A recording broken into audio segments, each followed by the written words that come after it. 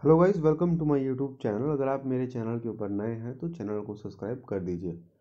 आज के वीडियो बहुत इंपॉर्टेंट है। अगर आप किसी भी ज़मीन के मालिक हैं, या फिर आप ज़मीन खरीदना चाहते हैं, बेचना चाहते हैं तो ये वीडियो सिर्फ़ आपके लिए है। मैंने कुछ दिन पहले एक वीडियो अपलोड की थी, जहाँ पर मैंने बात की थी कि अगर आपको अपने लैंड की डिमार्केशन करवानी है तो उसकी प्रोसेस क्या है। तो मुझे वहाँ पर भी कमेंट आया था, मुझे बहुत सारे मैसेज आए थे कि ऑनलाइन डिमार्केशन फैसिलिटी है हिमाचल प्रदेश के अंदर कि नहीं है? अगर है तो उसके ऊपर वीडियो बनाएँ कि कैसे हम ऑनलाइन अप्लाई कर सकते हैं डिमार्केशन के लिए। तो आज की वीडियो के अंदर हम वही डिस्कस करेंगे कि ऑनलाइन आप कैसे अप्लाई कर सकते हैं अपने ज़मीन की निशानदेही के लिए, यानी कि लैंड की डिमार्केशन के लिए। तो आप इस वीडियो को एंड तक देखिएगा। चलिए वीडियो को शुरू करते हैं।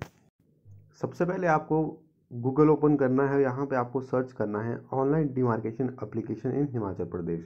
जब आप सर्च करेंगे तो आपके पास सबसे पहले वेबसाइट यहाँ पे आ जाएगी, जहाँ पे लिखा है ऑनलाइन डिमार्केशन रिक्वेस्ट। आपको यहाँ पे क्लिक करना है और ये जो वेबसाइट है, ये है e Him Bhumi dot N I C dot in यहाँ पर आपको क्लिक करना है। क्लिक करने के बाद एक नया पेज खुल जाएगा और यहाँ पे आपको जो ये सारी चीज़ें बताई गई हैं भरने के लिए, वो आपको भरनी है। जैसे मैं आपको भर के यहाँ पे दिखाता हूँ। सबसे पहले आपको यहाँ पे डिस्ट्रिक्ट चूज़ करना है, मैं वो कर देता हूँ। उसके बाद फिर आपको यहाँ पे तहसील चूज़ करनी है, मैं वो भी कर देता हूँ। मतलब कि इस तरह से आपको अप्लीकेशन पूरी भरनी है। जब आप ये पूरी विलेज जमाबंदी ईयर ऑटोमेटिकली यहाँ पे आ जाएगा। जब आप यहाँ पे भर देंगे, उसके बाद आपको यहाँ पे अप्लीकेंट का नाम भरना है, जो करवाना चाहता है अपने लैंड की डिमार्केशन उसका नाम भरना है यहाँ पे मोबाइल नंबर भरने हैं और ईमेल एड्रेस भरना है। हालाँकि जो आपका ईमेल एड्रेस है, ये कंपलसरी नहीं है। उसके बाद आपको यहाँ पे वो भरना है, जैसे लैंड ओनर्स की डिटेल आपको भरनी पड़ेगी। उसके बाद खसा नंबर यहाँ पे ऑटोमेटिकली आ जाएँगे, आपको सिर्फ़ वो टिक करने हैं।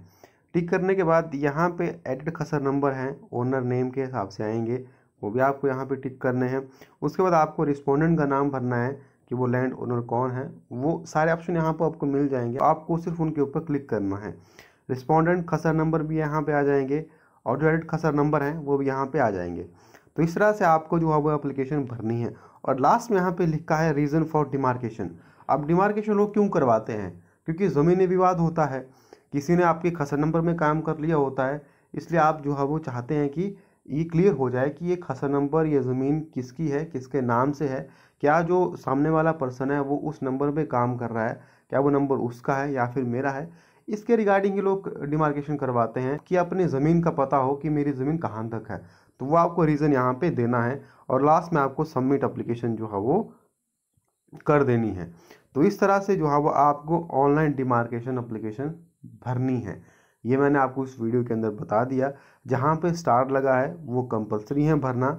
अगर आपने एक भी छोड़ा तो अप्लीकेशन आपकी सबमिट नहीं होगी या फिर सबमिट हो जाएगी तो वो रिजेक्ट हो जाएगी। तो इस तरह से आपको अप्लीकेशन भरनी है। तो यही था इस वीडियो के अंदर। अगर आपको ये वीडियो बहुत इंपॉर्टेंट लगी है तो आप इस वीडियो को लाइक करें शेयर करें कमेंट करें। कोई क्वेश्चन इंक्वायरी है तो आप वो भी कमेंट कर सकते हैं। चैनल सब्सक्राइब नहीं किया है तो कर दीजिए। Thank you and thanks for watching